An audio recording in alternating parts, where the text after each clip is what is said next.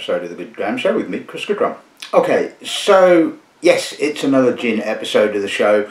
Um, I thought last week's episode was uh, so much fun, I thought, no, I'm going to do another episode on gin. And um, all of the gins that uh, I've got in front of me today are um, relatively new to me. I think uh, samples uh, arrived over the course of, uh, well, since January, shall we say. So they're all relatively uh, relatively new to me anyway. Um, some of them have been in production for, for quite some time. Um, I'm not going to go into sort of too much detail about uh, the individual uh, producers. I'll say a little bit about them when I uh, introduce the lineup. But um, uh, otherwise, I'll be here all day. To be to be frankly honest with you, um, and what you really want to know is what the gins taste like. And if you want further information, obviously each of the producers has their own website. The links are in the information below the video in the box. So uh, you know if you want to find out more, there's uh, there's there, those, and also um, some of them have been reviewed on the the rather excellent Gin Foundry website, which uh, goes into an awful lot of detail and uh, um, is quite an impressive uh, website for you know looking at uh, interesting information about the gins that they review. So um, there you go, got free plug for you guys, honestly.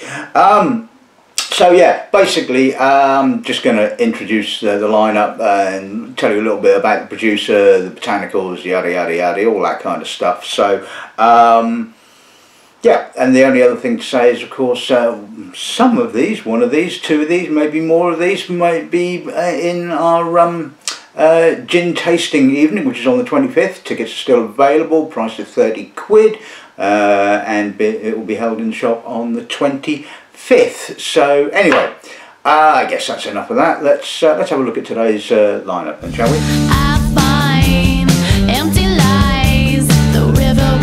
Right, okay, so we're going to kick off with uh, the Three Rivers Gin. This is bottled at 40% and uh, it's distilled in Manchester, um, in a uh, distillery built in the arches under probably a railway line, I'm guessing, uh, somewhere in, in the middle of Manchester. I don't really know Manchester particularly well, but as far as I'm aware, it was founded in 2016 by some chap called Dave Rigby, um, and uh, it's actually called the City of Manchester Distillery, and I believe was the first uh, new distillery to be built in um, Manchester um, since the year whenever, I guess. Um, uh, in the, the grand tradition of all of these kind of um, craft distillers, for want of a better word, uh, they they named their um, still and they called it Angel. Well, why not? I suppose. Anyway. Uh, one of the interesting things about this particular gin is uh, the use of oats as one of their botanicals. I think there's a, a tie-in with the with Manchester and oats. I think may well have something to do with with Manchester being a, a you know well going back a, few years uh, quite a, an active port. So uh, I'm guessing it's got something to do with that. But like I said, you know you can find out all their information on their website. So uh, their botanicals apart from oats, they use juniper, orris, coriander almond, vanilla, cardamom, orange peel and black pepper. So nothing too weird and, and wacky. Um, and hopefully, you know, a nice, a nice balanced gin. Second gin we're going to be looking at, now you've probably seen the picture, the, the, you know, the introductory picture, comes in a fantastic Art Deco kind of bottle which they probably spent a fair amount of money on. So um, this is the Cheshire Grins Gin, uh, produced by um, the Cheshire Distilleries Company Limited. Um, I believe it's uh, three times distilled and the distillery itself was founded in 2015. Um, now, uh, I'm guessing it's going to be quite an expensive gin and uh, you'll have to forgive me for not not stocking it guys but you haven't sent me any prices yet so if you're watching it get in touch and because it well We'll find out if it's a good gin in due course, but I've just kind of probably given the game away, haven't I? That uh, I think it's a good gin if I'm prepared to stock it. But anyway, um, so again, the, the um, we're not talking weird and wonderful botanicals, thankfully. We're talking fairly straightforward, but uh, so we're talking juniper, Cheshire blueberries, um, cucumber, sweet orange peel, cinnamon, nutmeg, orris and lemon. So hopefully it's not all show and flashy bottling and bottle and no substance. Um, well, I think I, yeah, you know it's going to be good. Otherwise, I wouldn't want to stock it. Anyway. The, uh, the, the next one we'll be looking at, well, there's two produced by uh, a company called the English uh, Drinks Company. Um, now, this is uh, contract distilled at Langley's in Birmingham, so they don't have their own distillery at this present moment in time. I'm guessing, like a lot of uh, these kind of companies, they've probably got that in the back of their mind that they would like to build their own distillery, but don't have a the odd half a million pounds lying around, you know, just to sort of build the, the thing with. Um, and anyway, as you know, I'm not a gin Nazi, and I really don't care if you've got your own distillery or not. It's it's the quality of uh, of, of said juice that is what that is what that's great English, isn't it? is what matters, shall we say? So.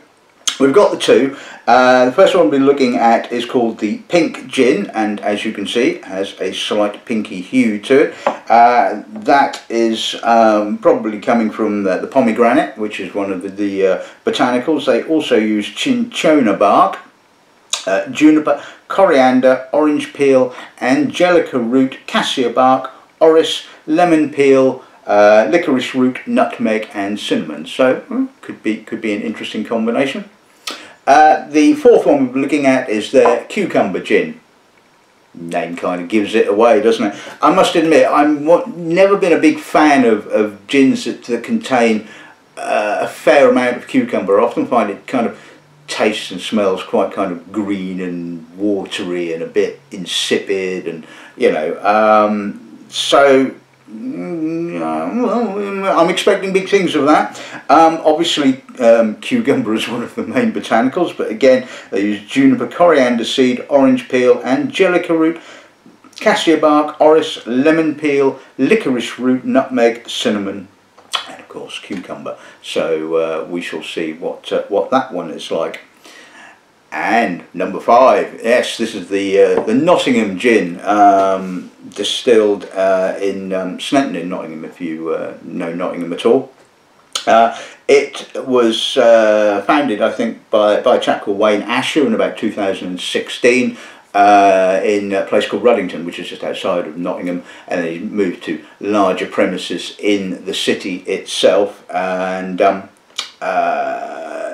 again, named his still called Jenny and uh, built it himself remarkably. But then I think his background was certainly in, in engineering so he certainly knew about pipe work and all this kind of stuff. And uh, if you look at the pictures it's quite a smart looking uh, um, smart looking still. And uh, um, obviously going to pay them, pay uh, Wayne and the distillery a visit in due course because we've now managed to get our hands on it. I bore you to death with the uh, the whys and the wherefores of why we haven't uh, been able to stock it, considering that he started production in about 2016 and went on to become uh, or was awarded in that year uh, Classic Gin of the Year at the Craft Distilling Expo in London. So uh, we've been wanting to get hands on it for some time and now we have and um, well, I'll let you know obviously in due course what it is like. Now, I was talking to Wayne the other day, in actual fact, and I really should have asked him what the botanicals are, because there's nine botanicals, of which I know five of, uh, juniper, sweet orange, uh, coriander, cassia bark, and cinnamon. So maybe I'll have a guess at what some of the other ones are. Um, maybe I won't. We'll taste it anyway, and we shall see. And the last one with the rather smart label uh, is uh, the called Colonsay gin. Now again this is another gin that is produced by a company called Wild, Wild Thyme Spirits but they don't have their own distillery as yet. Uh, it's distilled at the Strathearn distillery in Perthshire. Uh, company was set up by uh, a couple called Finlay and Eileen Geekie. A great name for uh, for someone that's sort of really into gin, um, so they are certainly gin geeks. oh, yeah, I know. I know. Um, so uh, the the couple, I believe, moved to the Hebridean island of Colonsay, and I believe there's a, a race on with uh, another uh, Colonsay uh, gin producer to get the first uh, gin distillery actually physically built. So uh, I don't know where they're at with regards to that, but like I said, this is currently distilled on the mainland in Perthshire, and they use juniper, angelica root, calamus root, coriander, licorice, orange peel, and orris. Um, and one of the things that's most striking about it is is the label, and it features um, uh, historical. Well, I say historical. I mean that's probably stretching the truth somewhat, but uh, uh, according to legend of, of the island, uh, a brownie or a gru and Gak uh, in the uh, in the Gaelic, I believe that's Gaelic, uh, uh, arrived on a Viking longboat, was washed up on the shore, and uh, made uh, Colonsay her home, and they were renowned for being being sort of magical helpers, shall we say? So nothing, nothing like a bit of a bit of myth, which has absolutely nothing at all to do with the product. But you know, it's kind of it's a nice story, isn't it? You know, at the end of the day. So um, and like I said, I think the, whoever did the artwork for the label did a fantastic job of of it because it is a really really striking label. Um, but as you well know, that is by the by, it's all a case of what does the actual product taste like rather than uh, what the bottle or the label looks like. So, um, so yeah, right, that's today's lineup, and so let's kick off with the, the Three Rivers gin. Okay,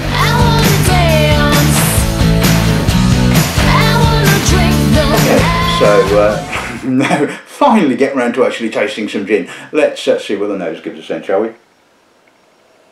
Now there's a definite oatiness, uh, a sort of, you know, kind of cereally spirit character. Um, but the juniper is quite, quite upfront. Um, it's got a sort of bit of a sweetness to it. There's a slight earthiness, plenty of citrus. There's a the oats kind of give it a kind of a nice fullness, a bit of, and a bit of uh, almost a bit of sweetness. There's a touch of orange. Um, and the, the pepper is kind of just slightly in the background. You know, it's a, it's a really pleasant gin. It's got it's got some lovely balance. Like I said, it's got some spirit character. It's got some some crispness from the uh, from the the uh, from the citrus, and it's got some some nice kind of weight uh, to it uh, from the oats. So yeah, certainly a lovely nose. Let's see what the palate's like.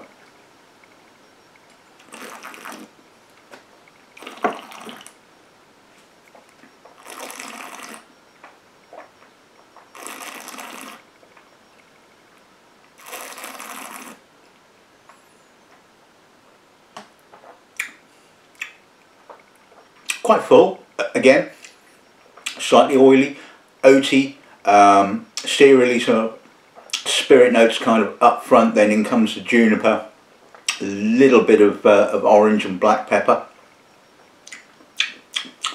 It's a, a slight slight green cardamom note on the finish just adding just a little bit of bitterness just to kind of you know add a, add another um, element of flavour I think that's actually really very, very nice. I think they've got the balance between the spirit character and the botanicals just about absolutely spot on, and I think that's just a, um, a lovely, fairly full, weighty uh, gin. Yeah, absolutely, absolutely pleasant.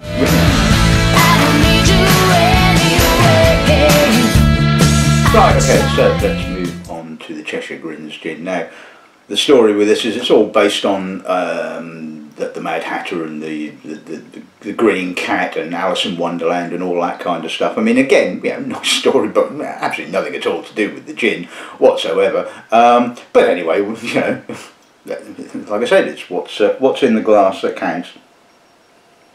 Slightly fresher than the um, uh, the Three Rivers, obviously. Um, it's got quite a lot of citrus, uh, getting sort of the, the lemon and the orange it's got a sort of smoky, sort of underlying, sort of smoky juniper character. Um, again, there's a bit of oiliness and a little bit of almost kind of wheaty spirit character.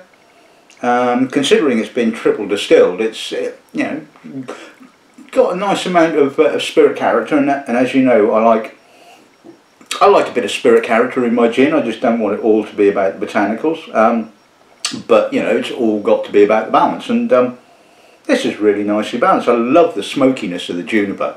Um, there's a little berry note kind of coming through. You kind of have to work a little bit hard to kind of get the berries. And there's a, a little bit of a little bit of cinnamon and nutmeg as well. It's all all really quite harmonious, quite earthy. It's but like I say, it's that sort of smoky juniper note that's um that's that's quite uh, quite noticeable. But um, yeah, another really well put together gin. Let's see what the uh, the palate's like.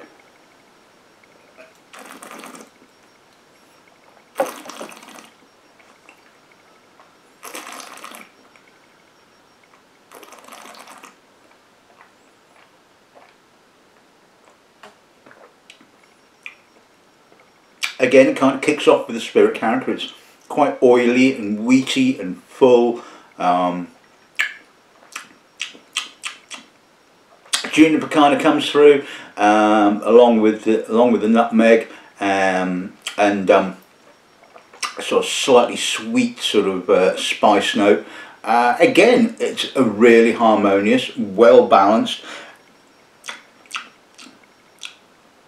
Yeah, I mean that's that's that's a really nice gin. The, the citrus that I discover on the nose isn't quite so sort of prevalent on on the palate, and the palate is a little bit more angled towards the character of of the spirit, but it's still got a nice fullness. There's there is a sort of again you kind of the, the sort of blueberry kind of berry note is not sort of like in your face, which which is quite nice. It's quite subtle um, and is, is, is sort of you know more in the background. Um, the juniper isn't quite smoky as it is on the nose in actual fact. It's a little bit more earthier, but again, I think the balance is really quite pleasant. And again, and keying that up with a very unusual bottle, which would probably take up so much bloody room on the on the shelf, it's untrue, um, I think kind of works in their favour. And um, you know, I'm a bit of a sucker for, for Art Deco kind of stuff, as it has to be said. So yeah, another another nice. Okay, so let's have a bit of pink now. Um, let's just see what those give us then, shall we? the, the, the pomegranate is fairly sort of noticeable straight off the bat. Uh, but it's got, again, it's got a nice kind of full, almost wheaty spirit kind of note. Subtle, smoky juniper again. Touch of lemon, a little bit of, a little bit of licorice and cassia just kind of coming through. Yeah, I think that's that's a lovely aromatic, appealing nose. Um, it's got a nice warmth to it, and it's got that kind of. It, it sort of smells kind of pinky, if you see what I mean. Um, and again, it's pretty harmonious. It's not. It's not kind of slapping you in the face with uh, with the, the pomegranate kind of character. And there's a, a little bit of barkiness as well. So yeah, I, I, I quite like this. I think this is quite impressive, and um, I have actually bought it, and it is on the shelves, and it's you know, the usual kind of price, you know, um, 38-ish quid. Um, yeah, I like that nose. That's that's a, that's a nice nose. Let's see what the palate's like.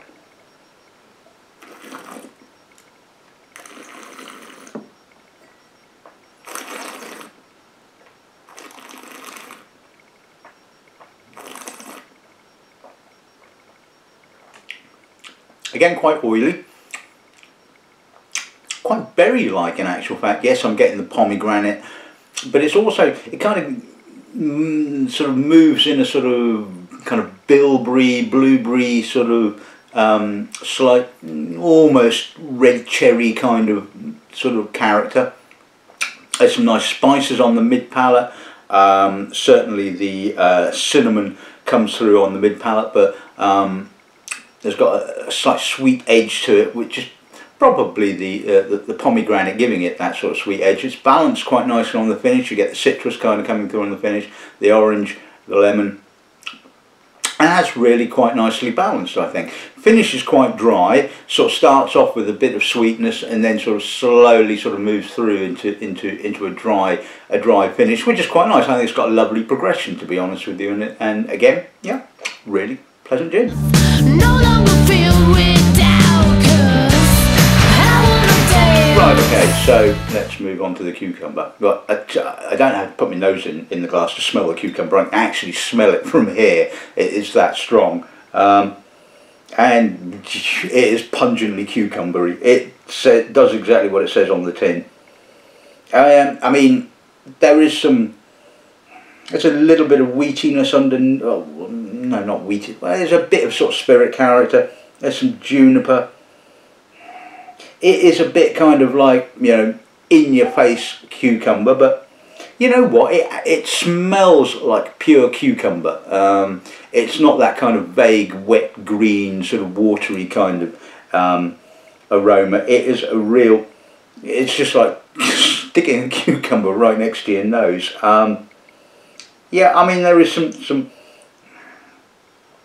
a little bit of spice in the background, but really it's it's it's Cucumber City here, and um, I, mu I must admit, uh, you know, there like I said, this is probably the nicest cucumber gin that I've actually tasted. I mean, I'm certainly not I'm not a fan of uh, you know what, um, and yes, you can argue it's a little bit one-dimensional, but I have got it on the shelf because I think you know there are there are customers that sort of love this kind of style of gin and you know, I'm always always keen to kind of steer them away from the sort of somewhat corporate big names, shall we say. Um, so, yeah, a, give it a bit of time and, and, and the sort of like the nutmeg and the cinnamon do kind of start to come through with a, a little bit of the, the juniper, but uh, you, you almost kind of have to sort of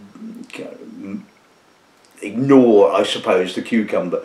Um, to get those kind of notes. But uh, anyway, let's uh, let's see what the power's like.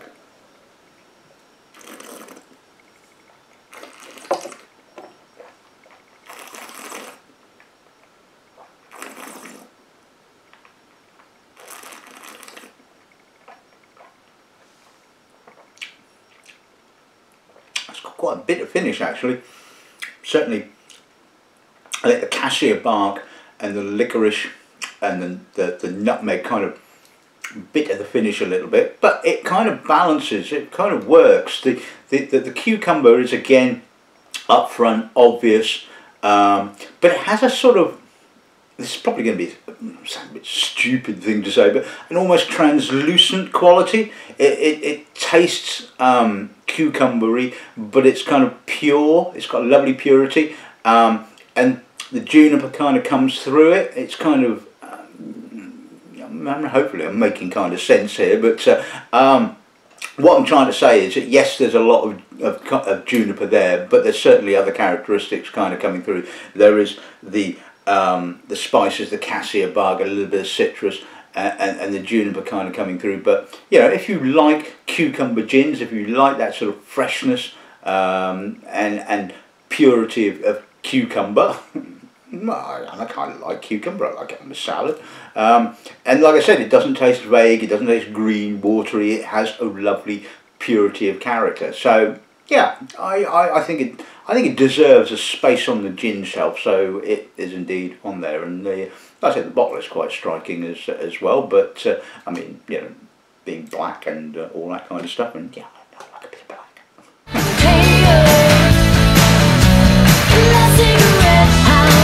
Right, okay, let's move on to the Nottingham Gin. Now, um, I'm hoping this is going to be going. I know it's good, you know. I'm, I'm stocking it for God's sake, you know. Um, anyway, um. Yeah, it's it's got a quite citrus uh, and juniper upfront character. It's a, it's kind of it's a classic London Dry, um, but there's a again a sort of a slight, slight oily kind of spirit character, a little bit of a trying to put my finger on it, it's slightly starchy in, in, in character in actual fact. I mean, I don't think it's kind of, I don't think the base spirit is, is um, uh, potato or uh, derived, but I could be wrong. It's certainly got a, a sort of slight starchiness, there's an earthy quality to, to the juniper, a natural um, it's not a sweet juniper, it's a really natural kind of juniper character. There's a little bit of almost kind of tea leafy notes. Um, I mean, I don't think tea leaf is probably one of the botanicals, but it's certainly got that sort of leafy, almost kind of tobacco leaf, earth. That's a, that is a really, really impressive gin, has to be said. Um, and there's a touch of sweet spice as well, certainly getting a little bit of almost kind of coriandery kind of notes. Um, I mean, what was uh, what was the uh, the botanicals? Yeah, coriander. Um, and like I said, I mean, it's it. Well, once you kind of sniffed it a few times, the kind of you, you kind of, like I said, it was initially quite orangey, quite citric uh, and junipery. Um, but once that's kind of passed, you start to get this kind of earthy, tea leafy kind of character, which is um, really intriguing, really nice. I like this. See what the power's like.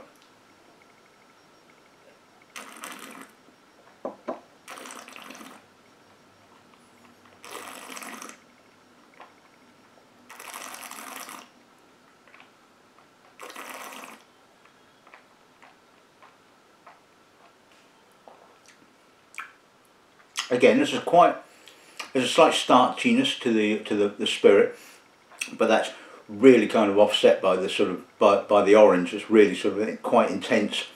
But not orangey orange it's kind of you know more kind of lemon orange if you see what I mean. Um, again the, the, the juniper is quite quite earthy uh, quite natural in character. There's a, a touch of coriander. Again that sort of leafy um, note in the background, a bit, which yeah, just, just says tea leaf to me, you know. Um, and it's got a lovely complexity, uh, and the citrus kind of comes back on the finish with with with, with quite a nice bite and a refreshing sort of um, intensity.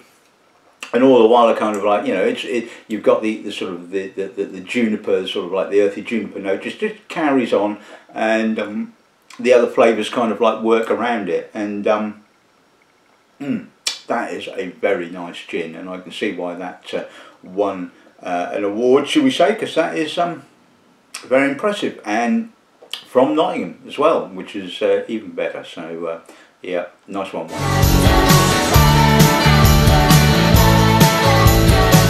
and finally we're on to the Colonsay gin um, like I said uh, this is uh, made by the Geekies, so um, I'm sure I'm sure they've had uh, no end of uh, jokes about that. But uh, anyway, let's uh, let's see what the nose gives us then, shall we? It's got a nice kind of um, fresh, wild, um, sort of herbally, botanical, juniper. There's a touch of of dusty spice coriander and it's it's probably the spiciest of the of the gins in actual fact. Um, although um, there's not a huge amount of spice other than than coriander. But that does seem to have quite an intense impression on the nose. Um, there's a little bit of citrus. There's also kind of a, a quite a beguiling sweetness to it as well. And um, yeah, I like this. It's a, a lovely nose. The only negative note on it, and, and it's nothing at all to do with the quality of the spirit, is the price. Um, but it's bottled in 50 cl bottles and is would have to sit on the shelf at the mid 30s, which is just too expensive for, for a Scottish gin or a, a UK gin. I mean, yes, as a retailer, you could get away with, with charging that kind of money for um, a European gin or a Scandinavian gin, you know, there's the additional sort of transportation costs, yada, yada, yada. And, yeah, I mean, at the end of the day, you know, I've got to sell the stuff, you know, and I find it really difficult to sort of justify a, a, a 50 cl bottle from, you know, a UK um, distiller uh, at that kind of money, which is a shame. I mean, you know, if you equate that to, a, say, a 70 cl bottle, then you're looking at sort of like mid 50s, and you know that's that's ridiculous. I mean, you know, nobody, you know, is going to pay that money for it. I, am sorry to say this, but you know, this is a lovely gin, but your pricing is just way, way off. Um, I, I really like this gin, but I just wouldn't sell it. It would just sit on the shelf, and you know, I'd do my best to say, yeah, this is a lovely gin, but you know, getting people to fork out, you know, 38 quid for a 50 cl bottle when they can fork out 38 quid for a 70 cl bottle. I know that's a, that's a bit of a kind of, you know, um, that it's a, it's all about economies of scale, isn't it? At the end of the day, it's like you know you, you think, well, why would I spend that on that I mean, yes, all right. You can you can sell it. Like I said, if it was a Scandinavian gin or something like that, you you you kind of got a sort of a reason why it's that kind of price. And and even so, like I said, the the sweet spot is the sub forty. It's you know thirty to forty quid. Uh, once you start getting above forty quid, you know your the sales really do tail off, and um, it's that is just the way these things are. You know. Um, and I think uh, e e even even some of the gins that are below 30 quid, people kind of not necessarily kind of think, well, why are they so cheap? Because they're so that they kind of expect that sort of you know small batch maybe or craft gins to be in that sort of 30 to 40 pound kind of region. And when most gins retail in that kind of region you, you can understand that. But anyway let's, uh, let's see what the power's like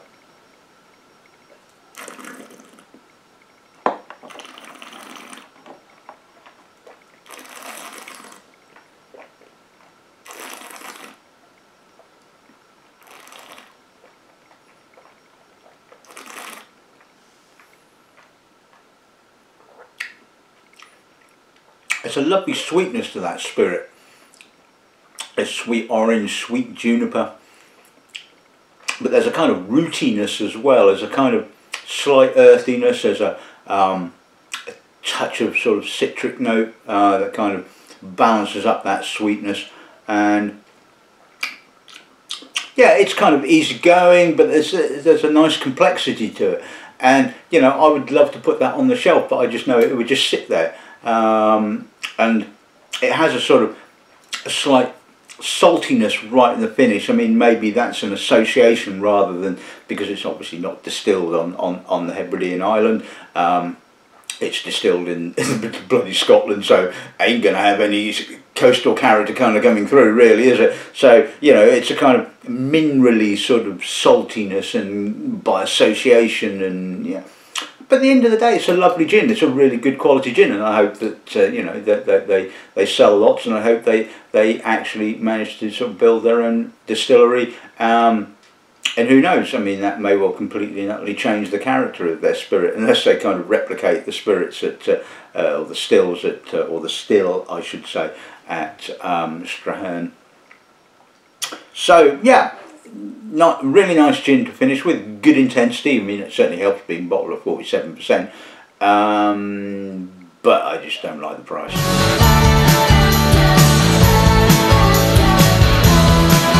Okay, so let's sum today's episode of the show Well, I think six really very very good gins, really different. Um, I think that the the, the Manchester gin I think was really interesting. Certainly the use of oats as one of the botanicals certainly kind of comes through on that and you get that sort of lovely oaty kind of uh, character to the, sp the spirit but again really quite balanced. The Cheshire Grins gin, well, yeah, I, and I think sort of, yes, they've obviously spent a lot of time, effort and money in the development of the bottle shape uh, and, and all that kind of stuff and um, yeah, all right. So the whole kind of story has no real kind of meaning at the end of the day, but you know, it's a nice kind of tale, and you know, in, and the, the gin is really nice and it's pleasant. And yes, I'm sure that's going to be expensive. I mean, you know, those kind of bespoke bottles do not come cheap, but you know, I, I, I really think I think that's that's kind of up to the job, as they say. The pink gin, yeah, I, I like that. I think I think it's kind of got sort of like a subtlety of, of, of kind of pomegranate and um, sort of pinkness, should we say? And uh, but there's also other other other the other characteristics from the botanicals happening at the same time. So uh, I think that kind of works really quite nicely. The cucumber gin, you know, it's the only cucumber gin that I've tasted so far, or should we say gin that contains a fair amount of cucumber. I mean, obviously there was some cucumber in the Grins gin, which really didn't kind of come through very much whatsoever. But I have tasted other cucumber um, heavy gins, which just sort of like, like I said, just really don't float my boat whatsoever. But that one, that one certainly doesn't, I think. But you've got to like cucumber to like that particular one. Redsmiths um, is a superb gin, it has to be said. I really, really like that. love the earthy kind of natural character of the juniper. I like the balance Um, and I like the kind of slightly weird tea leafy kind of character it actually has, and I love the fact that it's from Nottingham. And uh, I love the fact that we can finally actually stick it on our shelves, and I'm sure it will do really, really well. So, um, yeah, certainly worth worth looking into. And the same can be said for the Colonsay. I think it's a lovely gin. It's got a wildness to it. It kind of has a a, a representation of, of where it comes from. It is it is very much like some of the Scandinavian gins, although um, the Scandinavian gins tend to sort of take botanicals from their local areas, uh, but it kind of has that kind of windswept Hebridean kind of feeling to it. It's just the bloody price. You know, if you could you know, if I could put that on, on the shelf, you know, 50 cl bottle, if I could put that on the shelf at, you know, what, mid 20s maybe, um, you know, 29.95, I'm sure it would sell, but, you know, mid 30s and an extra tenner, it's just, it's just not going to sell. And, you know, that is just being completely and utterly honest, you know, lovely, lovely product but shame about the price, as they say. So, anyway, that's this week's episode of the show. Next week, we will be going back to, to whiskey, and uh, it will be a really in interesting episode of the show. I can guarantee you that. So, until then, all that's left to say is uh, good drowning and uh, good afternoon.